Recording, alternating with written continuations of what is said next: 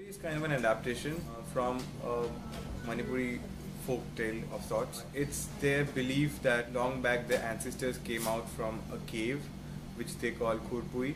story of their origin. So I guess this is different because we are exploring a different material. The camera starts from like stand, sand dunes, and then we are moving through the sand dunes and slowly moving forward. And then as we go through the sand dunes, we find that there is a hole on the ground. Okay, we move closer to the hole. A hand comes out of the hole, and we cut to a wider shot where the man crawls out of the hole, and then uh, he hears a sound upon hearing a sound, we cut to his close up. He looks to the left and he sees these stripes, these tiger stripes going across the screen. He'll animate that. And then he looks to his the other side and then he sees these fog marks. Okay. One by one they come on the screen. Uh, found out a way to come out and you know bewitch the tiger, make friendship with it. And the way he thought that the person can do that was to ha- wear clothes that resembled the stripes of a tiger. we don't actually think that a very simple thing can actually we can use it as a medium like sand which is like all over the place around us so i think for this story also it kind of goes like it's a very historic story and i think this medium the sand we are actually having it from very beginning of due to the Mary Kom, we know bit about that thing, and as you discussed, sees from that comb bit about discussion. Like I know whatever. Like before that, I didn't have any idea regarding that. We want to retain the essence of the of those that tribe. And it's difficult because we don't know much about them but so we are trying to do our best and not over exaggerate it. And keep it minimum as the medium we are using for the animation is sand. It's simple.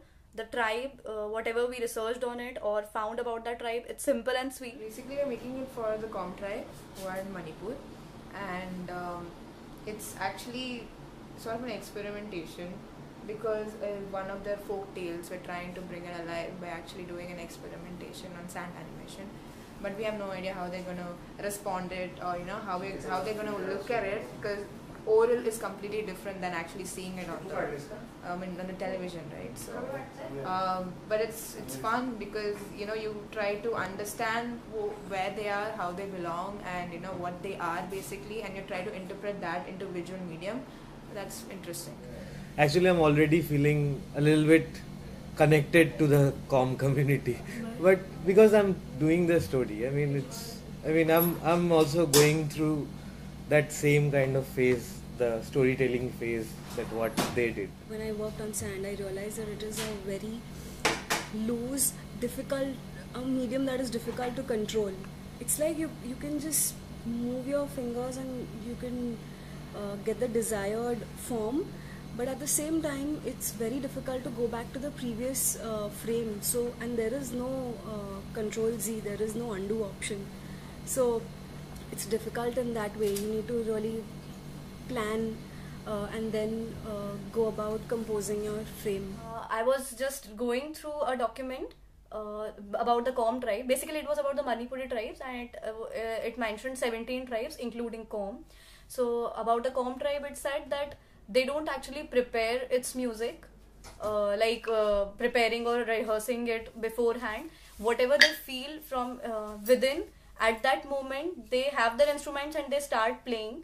this is two characters which are dancing uh, in the tribal form so we just uh, saw the video how they are dancing and then some of the steps like we decided now the same thing we are doing with this. And according to beats, we are now creating the music. So it, it, it will go uh, in sync. So we are trying out different materials. Like we are putting some uh, sand or uh, uh, some grains into the bottle and we are trying to make that kaudi, cow- they use that kaudi right? They tie that kaudi to their dresses and their uh, legs so that typical sound comes when dancing. So we are trying out that sound we're trying out bamboo sound of uh, authenticity will always arise, especially when you're working on an existing uh, tale or an existing uh, concept or a theme. Uh, okay, but then if you give the due credit uh, to the person, to to a group of artists, to a group of writers, or the the original source.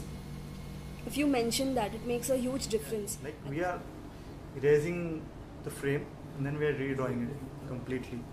So each frame is taking an hour, hour 15 minutes like that.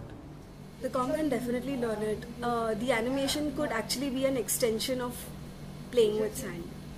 these people are they're like uh, they're like more enthusiastic for animation like they they want to learn animation the video you have shown like they are interested in animation yeah like if uh, there is some opportunity we can go we can teach like yeah like to those people yeah we try to show there is a peaceful coexistence between the nature and men If a person who is a native, who belongs to the Kom tribe, who his way of handling the story will be far different from the way we handle the story because his interpretation will be different from ours. We come across many stories, but sometimes it's very hard to see through visual. But and uh, now this animation work come up, then even that slightest six minutes, it's really interesting to see that. Then we even love to see more of this, uh, especially Kom and even uh, several tribes. Like can continue. It can continue. We have got first chapter, then secondly, one Kom animation. It will be the next one. Then who knows? Others may follow.